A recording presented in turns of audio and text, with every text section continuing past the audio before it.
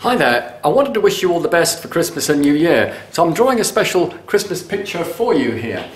You might recognise some of the characters in this. Here we are. Here's our old friend the Robin. There he is. There we are, and we've got a few musical notes here as he's singing. There he is. And we're doing a couple more down there. And uh, who is he singing to, we wonder? Well, of course, it would be our old friend Spike.